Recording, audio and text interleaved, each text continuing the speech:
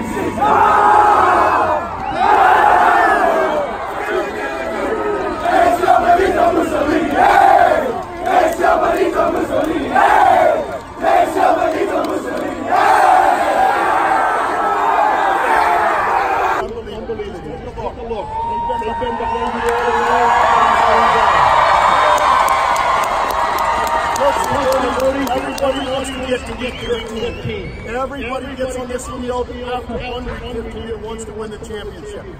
As great as anything was watching each one of your players walk through your elementary school and slap hands with every young player, some some, some down here, right now that want to be in your shoes.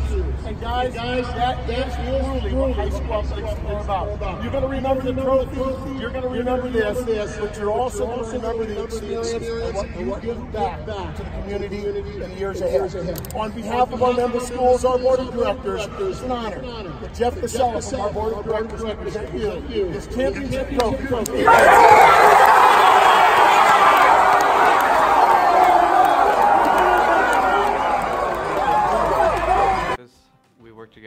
Team. Every role down here, a person has the opportunity to lead in their own position. No matter what your title is, we are all an important part of the process. Everybody's trying to help one another, and it's just a, a great camaraderie among the team members.